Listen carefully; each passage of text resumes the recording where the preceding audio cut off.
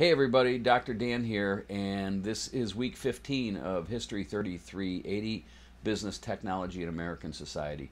And this week we're going to study a gentleman whose name is Robert Noyce, and you're going to watch a video called Podfather. Um, it's a it's a it's a long video. It's a documentary, but I want you to all watch it because Noyce is one of these people that you've probably never heard of, but he's he's at the same time, arguably one of the most important inventors um, in in U.S. history, and and I would say also as far as business itself is concerned, his style of leadership and what he brought into the business world in Silicon Valley is is worth noting.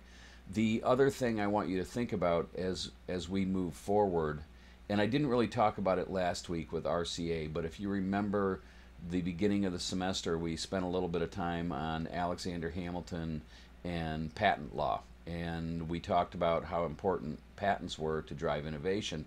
You know, you can bring that story full circle because as you've read about anyone from Edison to RCA, now all the way to uh, Robert Noyce and, and moving on to Apple Computer, that idea of uh, patents that protect um, inventions is important. So you can kind of make that connection between all the way back to Alexander Hamilton to Robert Noyce and Silicon Valley. So I just want you to think about that.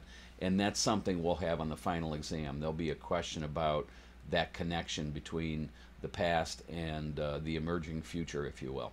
So think about those things. So this week we're going to talk about Robert Noyce, and he's you know, one of my favorite characters in the whole story. He's a, a kid from Grinnell, Iowa, very intelligent, became an electrical engineer, and moved out to Silicon Valley. And in the late 1950s, 57, 58, 59, the idea of the integrated circuit was already being looked at by many people at Bell Labs and, and other um, uh, electronics companies.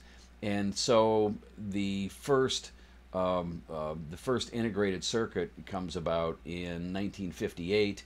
Uh, there was a guy named Kilby, Jack Kilby, who invented the first integrated circuit. And Robert Noyce, who you're going to learn about this week, came along and uh, per, kind of perfected the integrated circuit from a standpoint of making it easily manufactured. So by being able to basically print these circuits, if you will, you could bring the cost of them way down. And when you when you watch the Podfather video, you'll see how this all occurred and how Noyce went out on a limb and started selling chips for uh, less than it cost to make them, but eventually the cost came down so much that it worked out really well for him.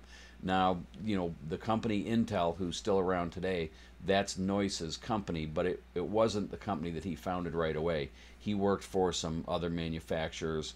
You'll learn about uh, Fairchild Semiconductor and how that evolved into Intel with people like like Gordon Moore and and uh, Robert Noyce, of course, and and Grove, Andy Grove.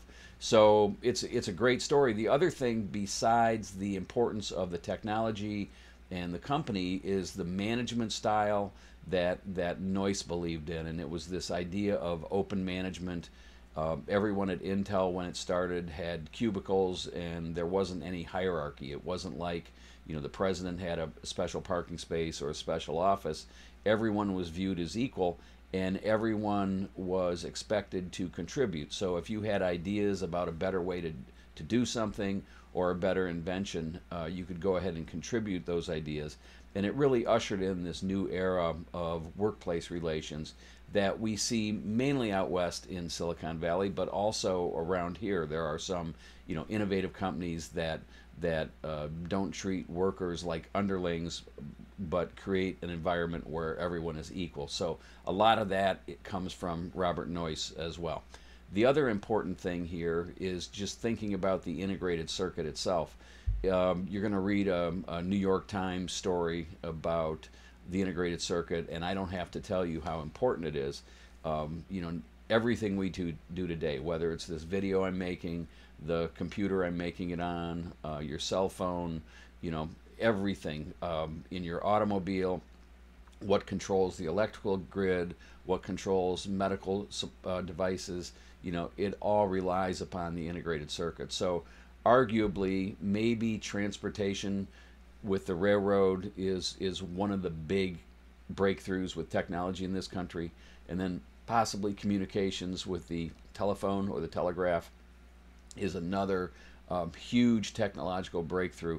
But I think that you know the integrated circuit maybe eclipses all of them because nothing has affected uh, the way we live as much as the integrated circuit, whether it's enhancing communications, enhancing technology, giving us the ability to um, um, program computers and to have computers that can can do calculations for us that that read our weather, that um, you know run all of our utilities and and really um, something that we're really dependent upon uh, in this country. So the integrated circuit's important. Remember that it was invented in the late 1950s by uh, Kilby and then perfected by Noyce as far as manufacturing is concerned.